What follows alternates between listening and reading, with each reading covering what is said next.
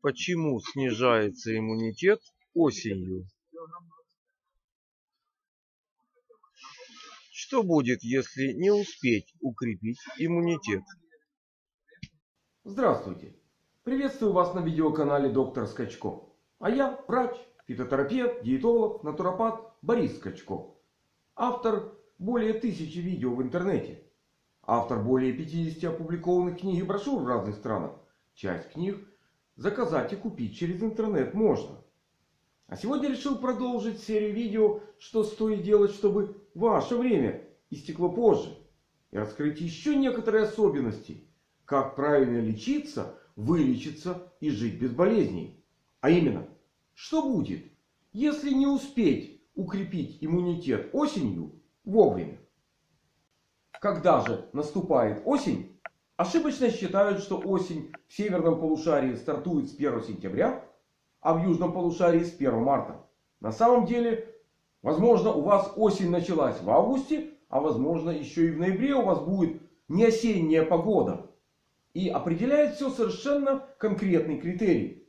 А именно, область теплового комфорта для человека. Напомню, это диапазон от плюс 18 до плюс 24 градусов по Цельсию. И находясь в этом диапазоне большую часть времени, человек себя чувствует комфортно, обмен веществ идет оптимально.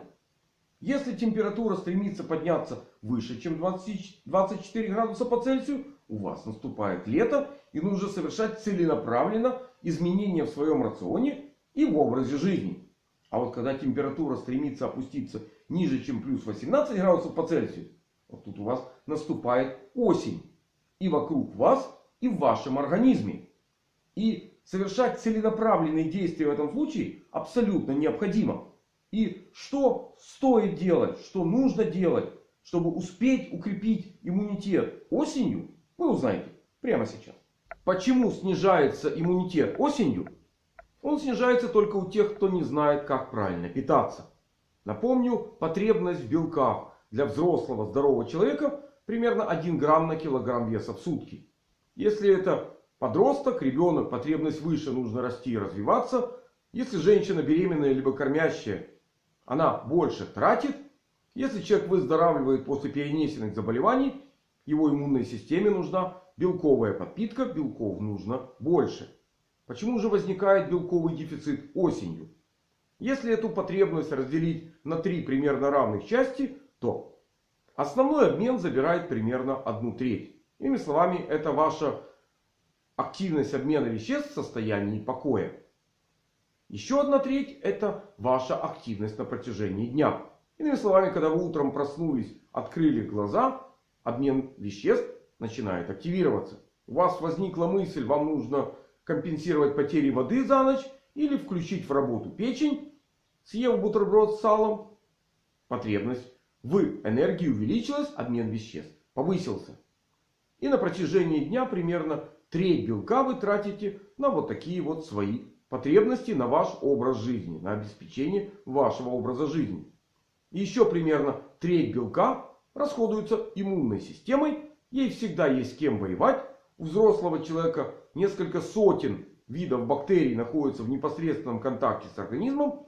И иммунная система должна их уничтожать. И работа идет очень напряженно. По статистике на одну иммунную клетку приходится 100 бактерий, 100 микроорганизмов. И она должна успевать их контролировать, иными словами уничтожать размножающиеся бактерии, чтобы их количество было не чрезмерным, для того чтобы не было вспышки инфекций. Еще в организме находятся десятки видов возбудителей вирусных инфекций.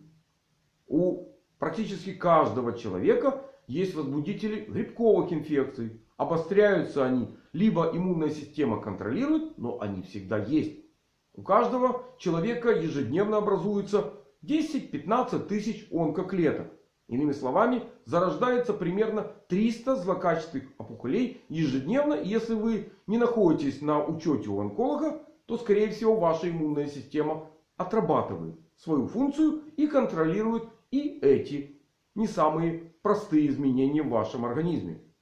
А также иммунная система должна своевременно омолаживать клеточный состав, чтобы в вашем организме работали не старые изношенные клетки, а более молодые и работоспособные. И почему возникает дефицит белка осенью? Вернее, у кого возникает дефицит белка осенью? У тех, кто не знает, как правильно питаться, какие изменения внести в свой рацион. А именно, нужно увеличить долю белковой пищи в рационе. Потому что осенью, когда температура снижается ниже, чем плюс 18 градусов по Цельсию, вам уже нужно согревать свой организм. А самое лучшее топливо для согревания организма это именно белки.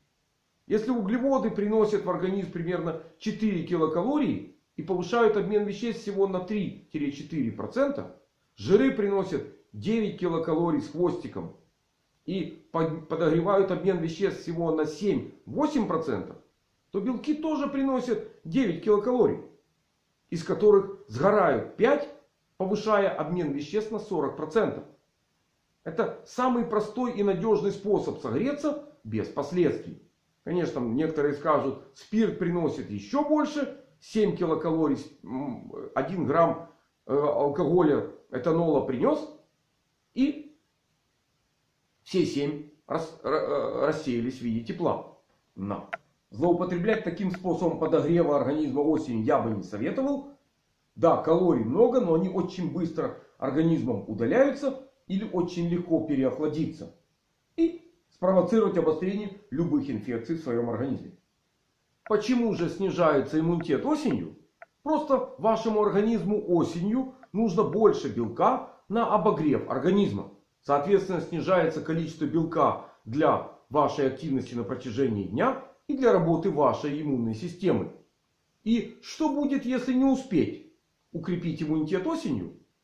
Уменьшение количества белка для вашей активности на протяжении дня даст вам снижение работоспособности. Как в физическом плане, так и в интеллектуальном. Иными словами, вам очень легко попасть в депрессию. Автоматически уменьшается количество белка для работы иммунной системы.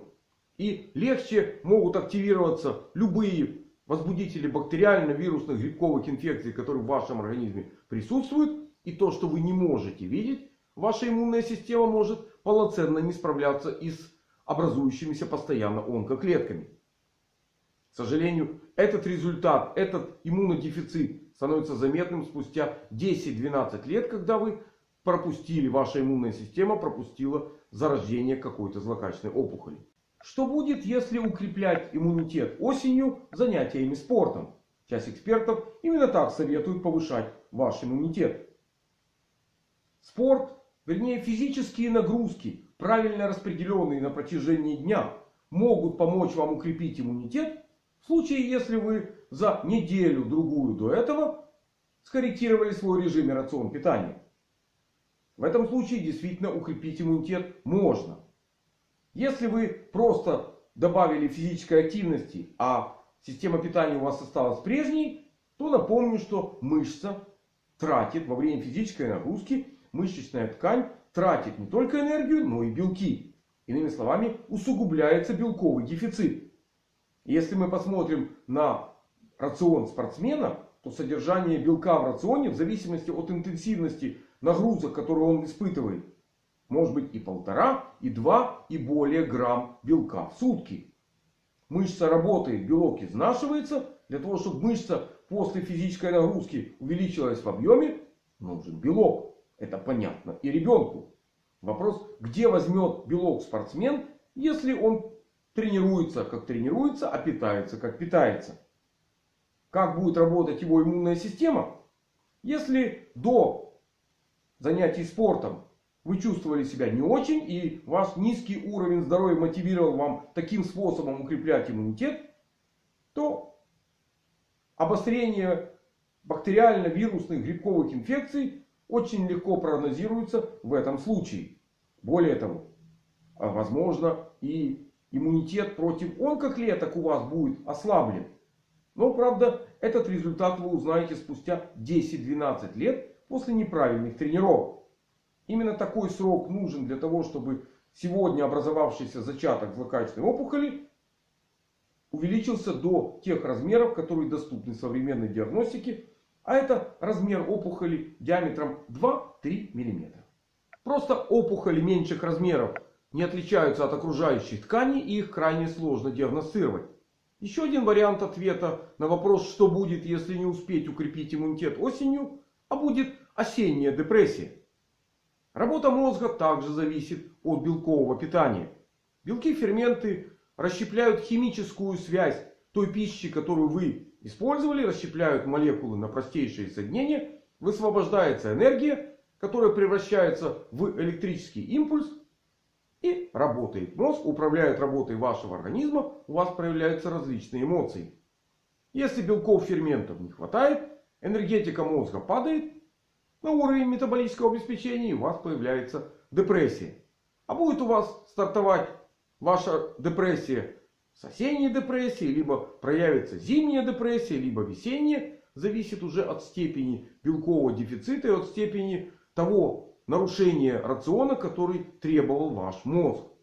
Еще один вариант ответа на вопрос, что будет, если не успеть укрепить иммунитет осенью, будет не только обострение известных вам инфекций, но и тяжелое протекание еще неизвестных.